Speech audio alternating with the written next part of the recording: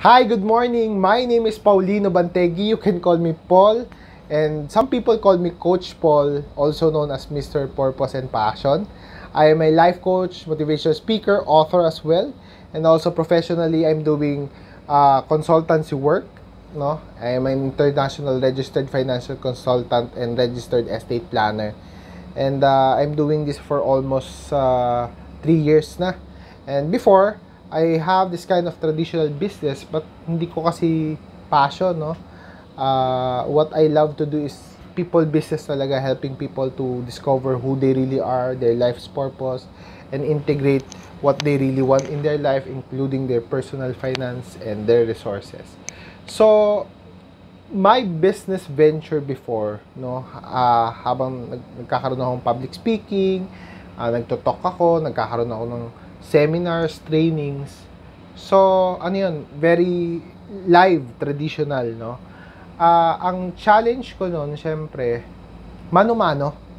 So, I cannot scale myself, no? Kasi, kap, syempre, we are all entrepreneurs. We need to scale our business.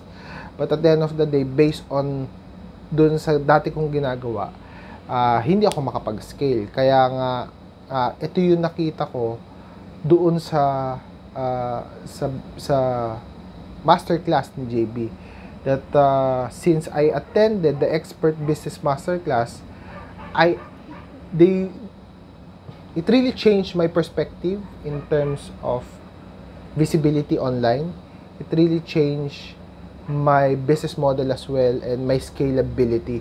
Ibig sabihin, uh, to make the long story short, di ko dati nakikita na uh, pagkakakitaan ng uh, multi-million and billion peso ang uh, training, uh, speaking engagement, and any kind of business model in terms of training people, creating course or seminars. But because of uh, the expert business masterclass ni Coach JB, doon ko nakita yung vision ko that I will become a uh, multi-billionaire someday based on my passion. Why? Because na-scale ni JB eh. Na-scale ni JB yung uh, problema ko. So, which is uh, creating master classes, creating this kind of uh, of uh, talks, 'di ba? Uh, webinar as well. So, what can I say about JB Borromeo as a coach? What can I say as uh, uh, na naging coach ko si JB Borromeo. Actually, JB Borromeo is a very passionate coach, no? He knows kung ano yung ginagawa niya, expert siya kung ano yung sinasabi niya, and uh, he actually walked the talk. And what I love about uh, JB, because I am a man of purpose and passion, he is also a uh, coming from purpose and passion. That's why He's very passionate, he's very purposeful, and byproduct, ang byproduct nun is the generosity na meron siya. So, very generous magturo, very, very zealous magturo. What will I say to people who think they can afford it? Of course, yun din ang iniisip ko. Actually, hindi naman talaga sa hindi natin afford. Hindi lang natin priority. The question would be, what is your priority based on your business? Sabi nga ng mentor namin sa BNI, which is the founder of BNI, the cost is only an issue if value is not perceived. So the question would be, what is your priority? It's it's not all about hindi mo afford. Ang question, baka hindi mo lang priority. So if you think that this is not your priority, so technically, your business is also not your priority because what you're doing right now is your business. So, yun ang yun ang sinabi ko sa sarili ko at naging prinsipyo ko rin kaya I, I can share to all of you that this is, the, the cost is not an issue. It's all about what you want, it's all about your priority, and it's all about the value on how you perceive it. And uh, what if sabihin ko sa iyo na because of 8,500, 10,000 pesos, you will earn 100,000 per month. You will earn 50,000 per month. You will earn 500,000 per month because of this course. What if yun ang sabihin ko sa'yo? Ibig sabihin, worth it siya at very valuable. Alright? So, uh, what would you say to the people who are afraid to take the risk? Uh, mas nakakatakot yung hindi nagtitake ng risk. Because uh, if we by nature as a human, we are actually uh, by nature, ah, we are always growing, no?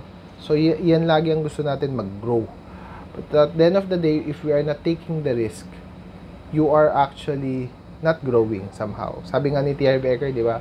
If you stop learning, you stop growing. And if you stop growing, you start dying. So, might as well, uh, itira mo yung bola.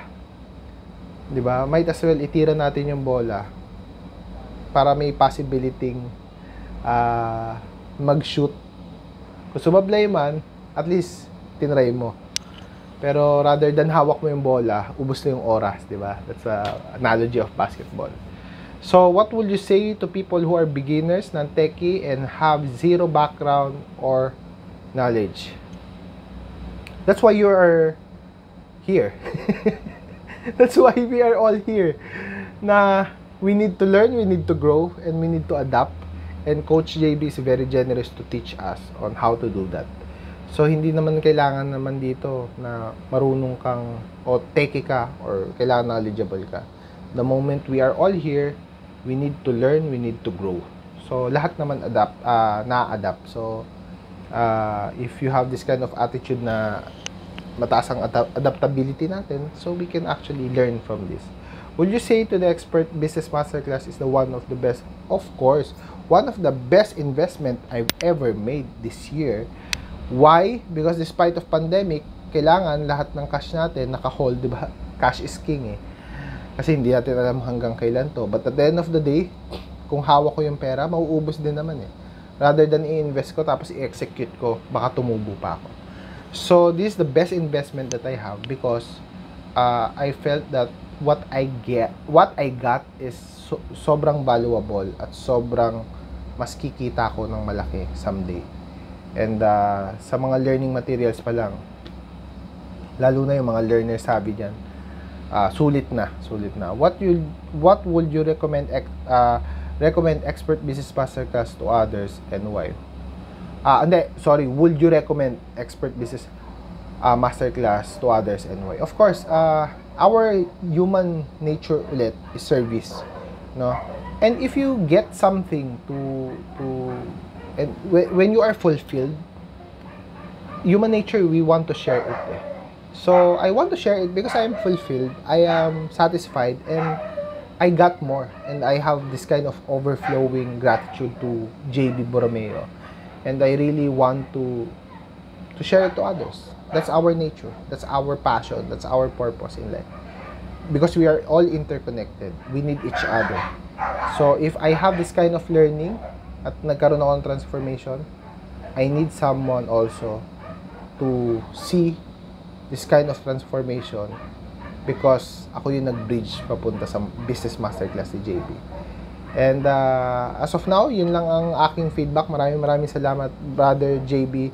Thank you for your purpose and passion because at the end of the day, I believe that uh, if we are not expressing our purpose and passion, we are depriving other people.